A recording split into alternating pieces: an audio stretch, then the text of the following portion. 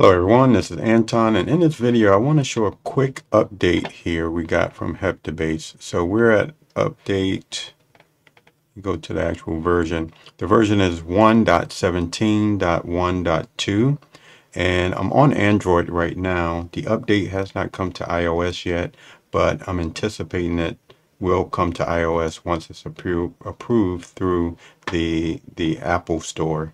Now, what I want to show off here is that not too long ago, Heptabase released an update for mobile that allowed you to do more editing on the on the whiteboard.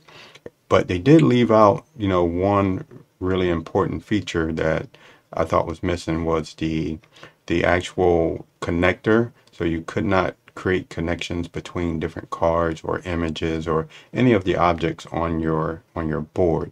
But they did come in here and what they they allowed you to do was to click on one of the, the, the cards that were in here.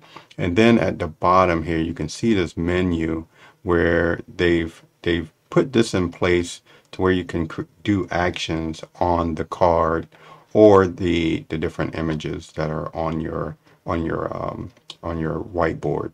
Now, what you see here now is that when you click on the object, you get a certain actions that you can perform on the actual object within the on the board and they are specific to the actual object but if you click on the board itself what they have done is you before you only could add an actual card or text to your to your board in the previous version but now they've added to where you can you can select an arrow here. So when you select that arrow all you have to do is if you're using a mouse I have a mouse or a trackpad here that I'm using right now all you have to do is select the object. So let me go back and do this again. Hit the arrow and then from the arrow you know I just push down on there hold the actual button down and then I drag over to the object that I want to create that connection to.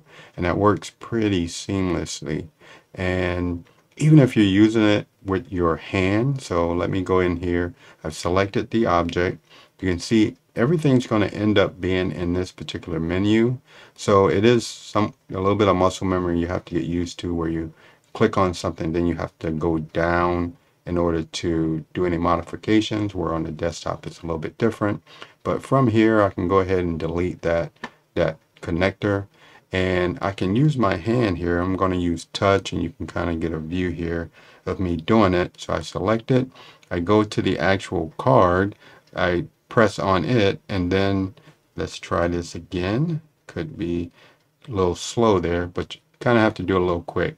Select the arrow then push down your finger on the actual card and then start dragging and we can see here when I drag it to this other card it creates the connection and I just let go and everything works the way it should work. So this really, for me, completes the functionality for the whiteboard that I was looking for. I'm sure there's some other things that could be done, but you know, when I first saw the the editing capabilities that they added in there, the one of the first things I went to do was to connect something and it was missing. So I was a little bit disappointed, but this here is is actually what I was looking for. So I think this is a pretty good addition to this this update and providing this functionality. And now on mobile, you're able to pretty much do most of the things that you can do on your desktop without having to go to the browser because that was kind of my workaround. So as I mentioned before, the update's not on iOS yet, but I'm assuming that it will be there once it's approved through the App Store. And yeah, th this is a really good update and it puts Heptabase where it needs to be, I think, on the mobile front.